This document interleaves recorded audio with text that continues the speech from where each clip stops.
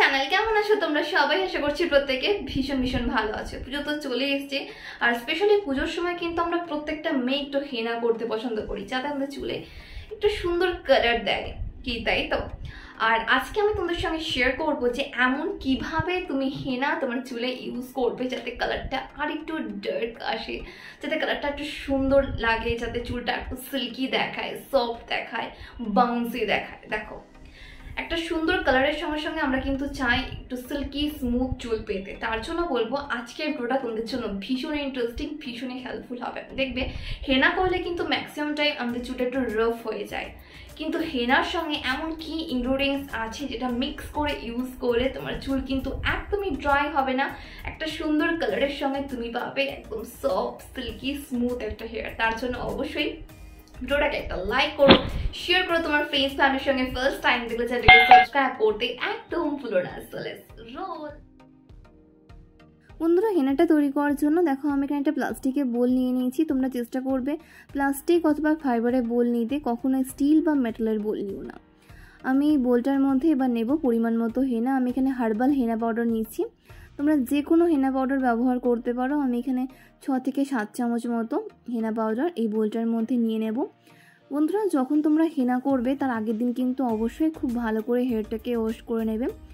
একদম ক্লিন হেয়ারে কিন্তু হেনা করাটা ইম্পর্টেন্ট তা নাহলে কিন্তু হেনার কালারটা কখনোই ভালো আসবে না। আমি এখানে দেখো, ছ থেকে সাত চামচ মতো হেনা পাউডার নিচ্ছি। তোমরা যে কোনো হেনা ব্যবহার করতে পারো। বন্ধুরা, এরপর আমি এতে অ্যাড করব ইন্ডিকো পাউডার বন্ধুরা ইন্ডিগো পাউডার কিন্তু ভীষণ ইম্পর্ট্যান্ট তুমি যদি হেনার মধ্যে ইন্ডিগো পাউডার না ব্যবহার করো, সেক্ষেত্রে কিন্তু তোমার চুলটা ড্রাই হয়ে যেতে পারে। অনেক সময় দেখবে হেনা করার পর চুলটা কেমন ড্রাই লাগে। আমি সেই জন্য এর মধ্যে তিন থেকে চার চামচ মতো ইন্ডিগো পাউডার নিচ্ছি। তোমরা কিন্তু অবশ্যই ইন্ডিগো পাউডারটা পারলে অ্যাড করো। তোমরা এটা লোকাল যে কোনো শপে ইজিলি পেয়ে যাবে অথবা অনলাইনেও অ্যাভেলেবেল আছে।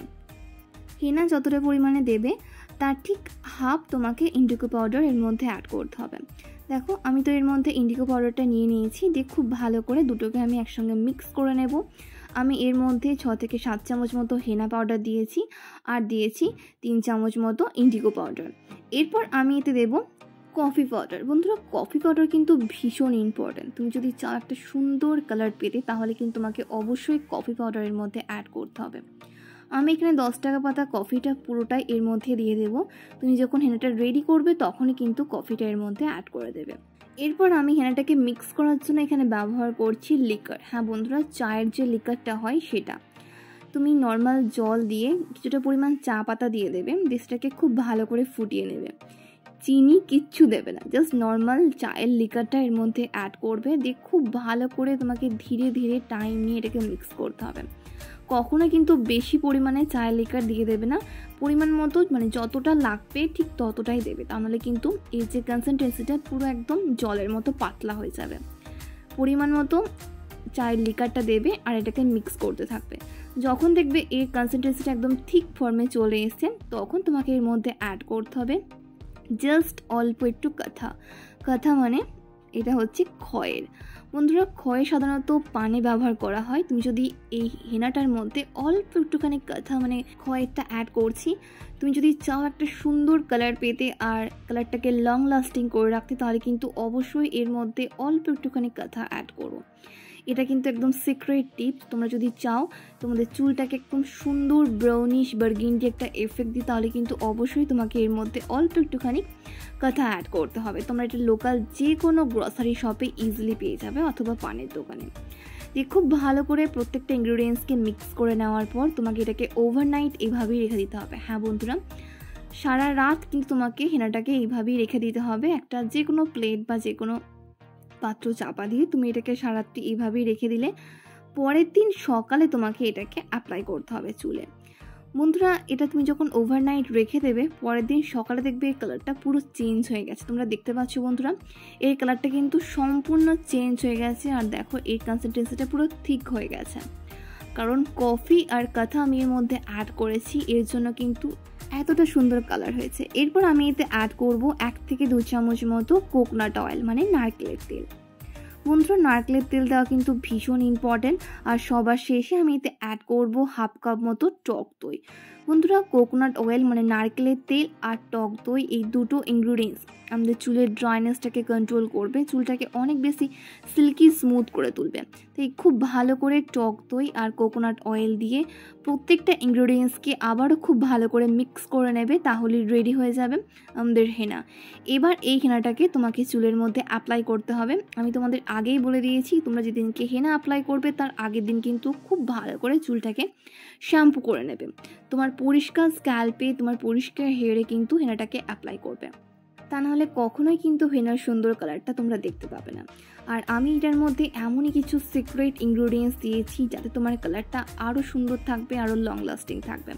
দেখো, আমি এখানে অলরেডি আগের দিন শ্যাম্পু করে নিয়েছি এবং আমার চুলটা কতটা ড্রাই লাগছে দেখো, কারণ আমি কোনো কন্ডিশনার ব্যবহার করিনি।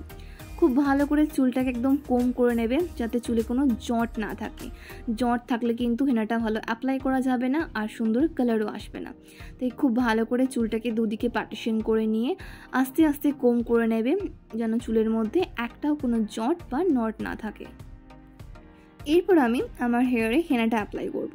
আমি এখানে ব্রাশের সাহায্যে ব্যবহার করছি, তোমরা ইজিলি হাত দিয়েও এটাকে অ্যাপ্লাই করতে পারো, কোনো প্রবলেম নেই। একদম ঠিকভাবে তোমাকে পুরো চুলে এই হেয়ারটাকে অ্যাপ্লাই করতে হবে। হ্যাঁ বন্ধুরা রুট থেকে টিপ পর্যন্ত। খুব ভালো করে থিক লেয়ারে একদম স্ক্যাল্প থেকে তোমার পুরো চুলের লেন্থে হেয়ারটাকে অ্যাপ্লাই করবে তারপর তোমাকে চল্লিশ মিনিট থেকে এক ঘণ্টা পর্যন্ত এটাকে তোমার চুলে এইভাবে রেখে দিতে হবে। যতক্ষণ না হেনাটা পুরোপুরি ড্রাই হয়ে আসে, মিনিমাম চল্লিশ মিনিট লাগে এটা শুকোতে। যখন দেখবে তোমার হেনাটা পুরো শুকিয়ে এসছে, তখন তোমাকে ওয়াশ করতে হবে। আর ওয়াশ করার সময় কিন্তু কখনোই শ্যাম্পু ব্যবহার করবে না। যেদিনকে হেনা অ্যাপ্লাই করবে, সেদিন কিন্তু কখনোই শ্যাম্পু দিয়ে হেয়ারটাকে ওয়াশ করবে না, তা নাহলে কিন্তু চুলের সুন্দর কালারটা তোমরা পাবে না। হেনার যে কালার, সেটা কিন্তু সম্পূর্ণ শ্যাম্পুর সাহায্যে বেরিয়ে যাবে। তাই সেদিনকে কখনোই শ্যাম্পু করবে না, নর্মাল জল দিয়ে হেয়ারটাকে ওয়াশ করে নেবে। পরের দিন তুমি চাইলে শ্যাম্পু এবং কন্ডিশনার ইউজ করতে পারো। দেখো, আমি এখানে পুরো চুলে হেনাটাকে অ্যাপ্লাই করে নিচ্ছি স্ক্যাল্পে এবং আমার চুলের লেন্থে তোমরাও কিন্তু সেমভাবে পুরো চুলের লেন্থে অ্যাপ্লাই করে নেবে। শেষে দেখো, আমি হাত দিয়ে আমার চুলের লেন্থে খুব ভালো করে একদম ঠিকভাবে এটাকে অ্যাপ্লাই করে নিচ্ছি, যাতে সুন্দর একটা কালার আসে।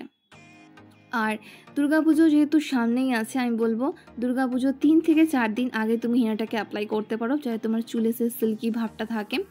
আমার দেখো এখানে হেনাটা মোটামুটি অ্যাপ্লাই করা হয়ে গেছে। আমি খুব ভালো করে পুরো চুলের মধ্যে হেনাটাকে অ্যাপ্লাই করে নিয়েছি একদম মোটাভাবে। এবার আমি এটাকে শুকানোর জন্য এইভাবেই রেখে দেবো।